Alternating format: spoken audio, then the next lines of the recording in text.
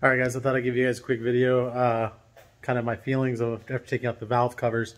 Uh, man, this work is not as difficult as I thought it would be. Uh, I did make one mistake, and that was obviously breaking the dipstick tube.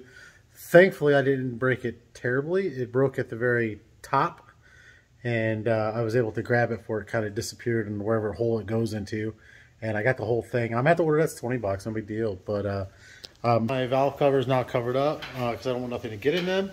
Uh, tomorrow I'm going to remove the uh, balancer and the timing cover. I should uh, be in a good position at that point. Um, I probably won't have any more updates for probably a few weeks. I have some other videos that I like to kind of talk about, other car bullshit, stuff like that. But uh, I think that's where I'm at, guys. Um, as far as this has gone, this has not been that difficult.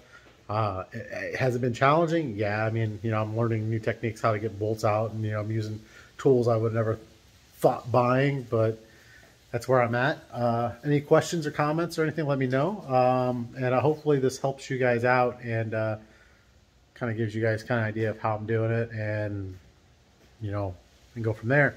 Um, but yeah, so let me know. Uh, if you guys want a hood, I, I got a hood for sale if any you guys want a hood. Uh, but yeah, there we are, man. All right, see you guys later. Peace.